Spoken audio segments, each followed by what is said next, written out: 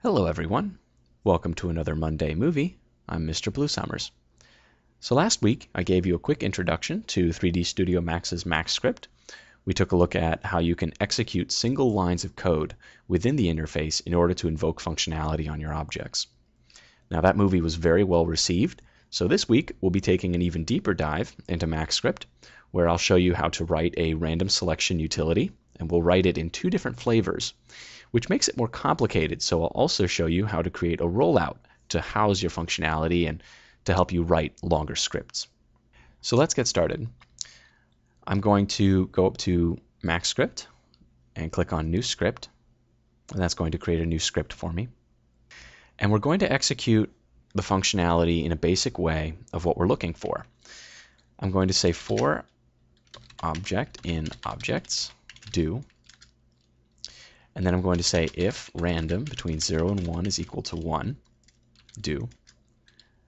And then after that, I'm going to say select more object. So what this is doing, similar to before, is for each object in the scene, flip a coin. So it's random between 0 and 1.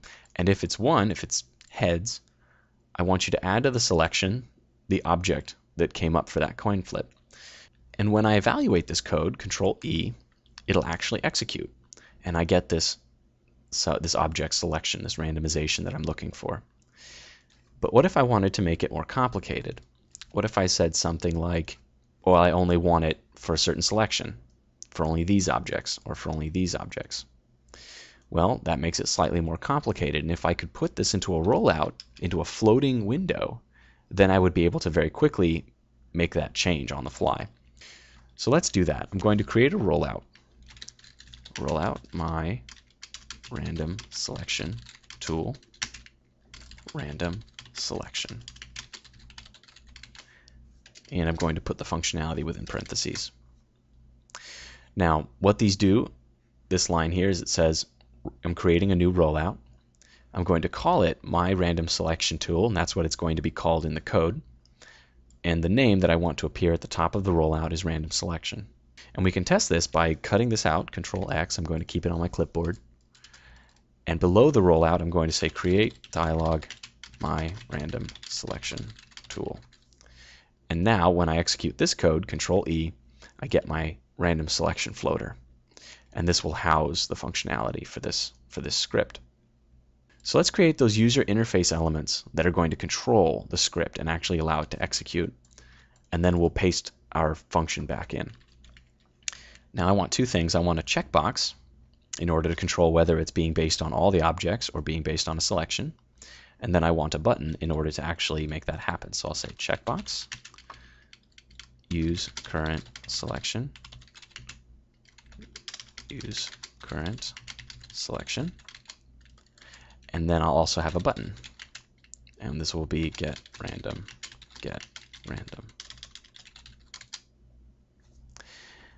And now if I hit Control E again, I'll see that my user interface objects are here. Now I can't use them because they don't do anything. We have to wire them to functionality. But that's also very easy to do.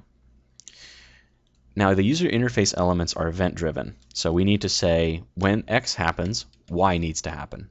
So we'll say on random, actually on get random pressed do and now, when we press the Get Random button, something will happen.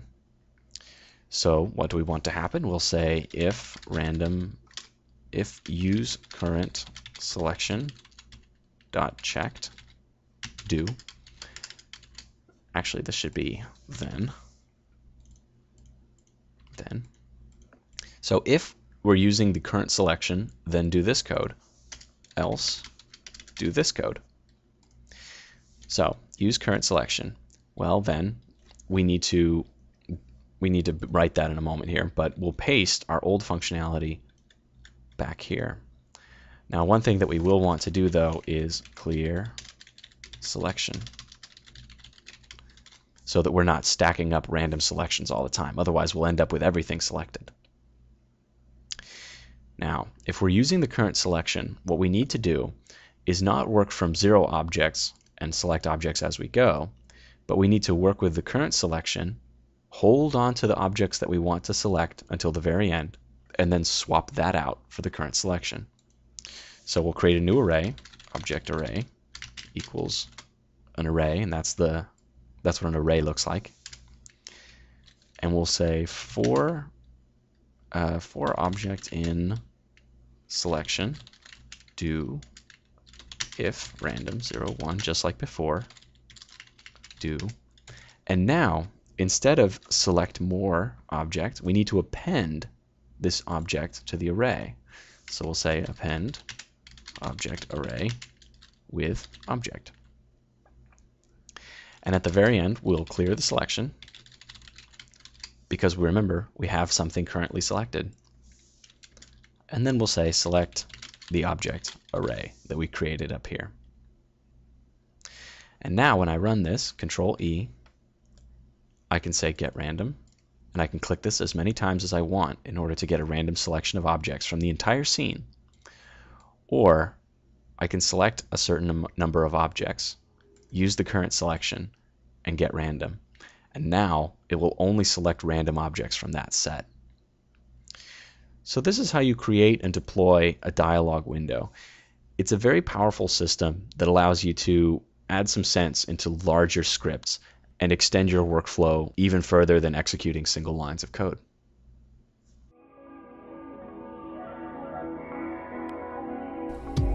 Thanks for tuning in to another Monday movie. You can find all of my Monday movies as well as tutorials, resources, and downloads at my website www.mrbluesummers.com.